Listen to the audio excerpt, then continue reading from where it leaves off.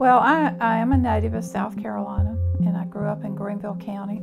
At the time I came through school, you pretty much uh, stopped having any kind of art activities at grade six.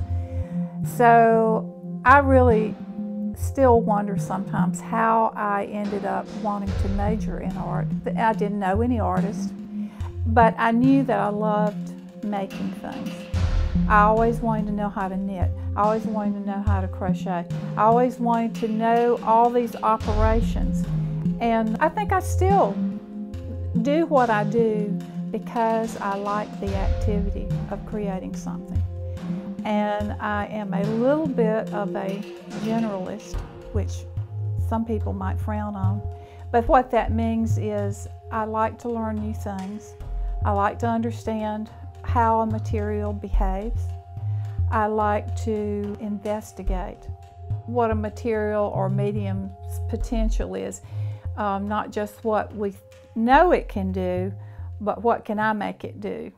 I was thinking the other day about this thing of mark making, and I wish I had written down the list that I came up with, thinking in terms of mark making in nature because in nature you have tracks, you have piles, you have accidents of crisscrossing, you have things that scurry around, you have wind and water, and just all these things that create some kind of residue and a kind of history of something that has happened. And they're often very beautiful kinds of things that uh, only Mother Nature, you know, had a hand in.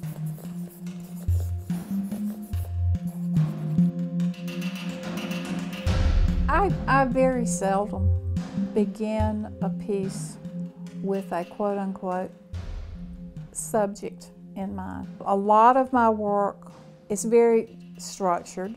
They often look like rooms to me or some kind of landscape environment. And the, the landscape is not necessarily the landscape outside. It can be a mental landscape or an emotional landscape. There's a tone to it that I think reads as a setting. Something is happening. There are interactions going on between the different elements in the piece. It's not something that I sit down and have to think about. That is just the way I organize things, and that's how it comes out. And I'm aware of it, but I try not to be too self conscious about it.